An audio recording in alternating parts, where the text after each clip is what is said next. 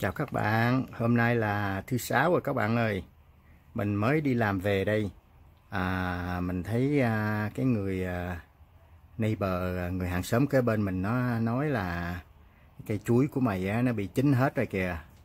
À, Cho nên mình mới đi ra mình coi coi để mình à, thu hoạch nó để các bạn ơi.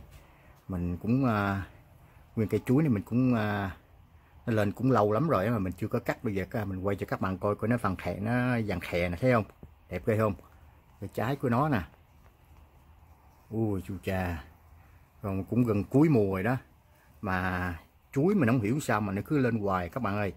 Mà hỏi mình nó lên xong cái mình cắt xuống mình cắt xuống xong rồi cái à, à, mình đào cái cây à, chuối đó đi. Rồi cái cây khác nó lại lên nè. Cái à, cái giống nó vậy á. Cho nên mình không có giữ cái cây à, cái cũ được. Đó các bạn thấy không? Nó ra dàn khè thấy không? Và một nải bên kia nữa kìa. Nó chưa có chín nhưng mà cũng còn xanh lè. Mình quay cho các bạn coi luôn nha. Đây các bạn thấy cái nải này á coi nó còn xanh nè thấy không? Nải này thì chưa có chín nè. Đó các bạn coi coi nó bự ghê chưa? Ồ. Nguyên một cái vườn chuối của mình đây này. Đó, các bạn thấy nó xanh lè cái nó đẹp ghê không? Đó. Rồi bây giờ mình lấy đồ mình cắt à, nải chuối nha. À, cắt ra để mình à, có thể mình làm thêm chuối chiên nữa các bạn. Các bạn thấy nó xanh đẹp ghê chưa?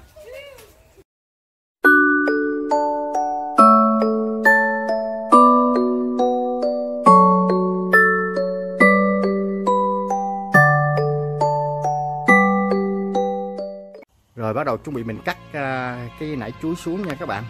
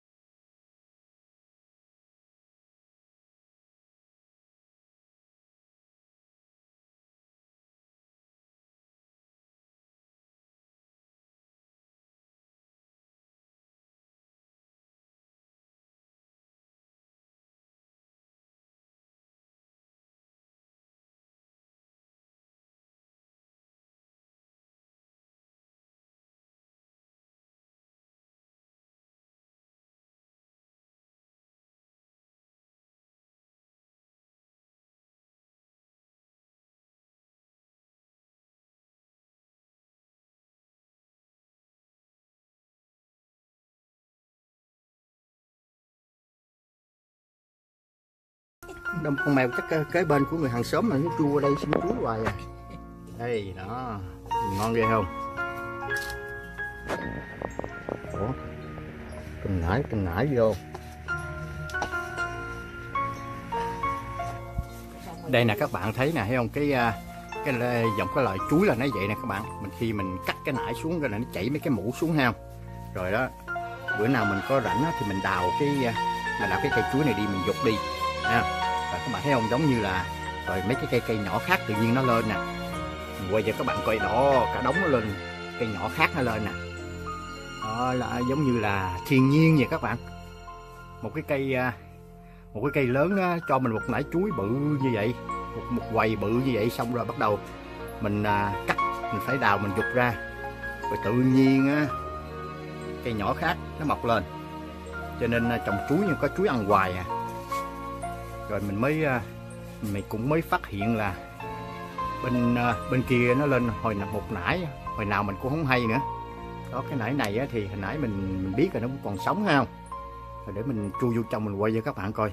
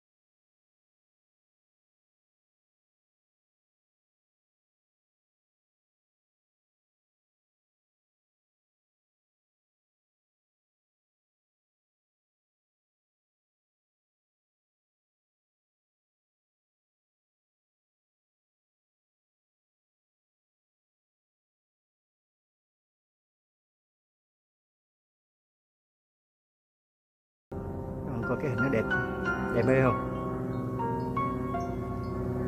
Đây đó. Trái nữa nè.